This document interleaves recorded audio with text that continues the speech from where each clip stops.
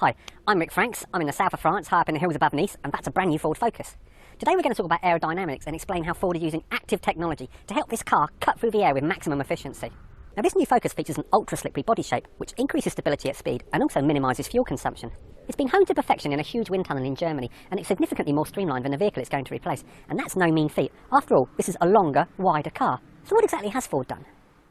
Well, for starters, New Focus features an automatic grille shutter, which smooths the airflow over the front of the car when you're on the move. It automatically opens and closes little vents in the grille, which regulate the airflow through the radiator and engine compartment. In a nutshell, it opens the vents when air is required to cool the engine, and then closes them when it isn't, and all this helps reduce aerodynamic drag. It will select any one of 14 pre-programmed positions to get the best balance between cooling and creating a slippery profile. Now, Ford's engineers say this helps to reduce the all-important drag coefficient by as much as 6%, and the stats do seem to bear this out, because this new Focus has a drag coefficient of 0.295, and the previous model had a drag coefficient of 0.318. This active grille shutter clearly helps, but it's not the only drag reducing feature on this car.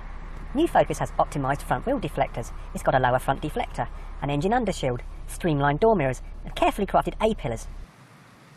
At the back, Focus gets a rear air deflector, a rear diffuser, and a rear wheel speed lip.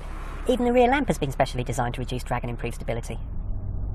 Now all these bits and bobs really do help to keep this new Focus firmly planted on the road. And because there's less wind resistance, there's less noise as well. It's a much more civilised, quieter environment inside than the current car.